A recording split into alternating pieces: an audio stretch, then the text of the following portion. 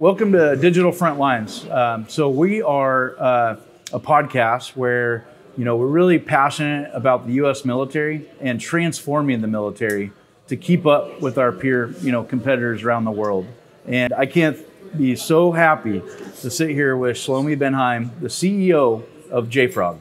So okay, so Shlomi, so this week you talk a little bit about the, the digital revolution or the industrial revolution we're going through the next industrial revolution right now with AI, and yes. you're and, and JFrog is taking a, a, big investment in ensuring that we stay ahead and that you offer your products to your customers, your developers that speak yes. what you say, developish. What developers, Develop, developish. Developish. Uh, That's yeah. the language of developish, and you guys speak it here.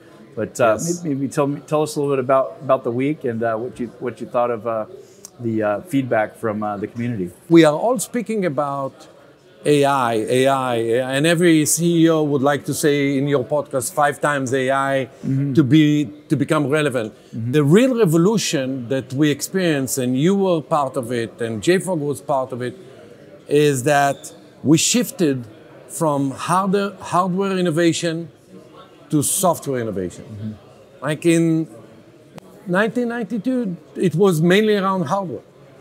And then um, the internet came in, then automation, and then software delivery. And then you wouldn't care about what version you use, just wanted it mm-hmm. to be provided as a service, software as a service. Or what tool you're using. And, yeah. and how we secure it and how we use it.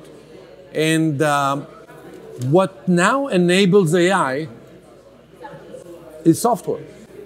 And therefore, having so many developers here around us yeah. uh, at SwampUp yeah. is an amazing opportunity for us, not only to say, wow, this is going to be exciting, mm-hmm. but also to say, this is the, the renaissance of software developers. These are the disruptors. Yeah. These guys are the front and center, as you mentioned, of this industrial revolution 2.0. Mm-hmm.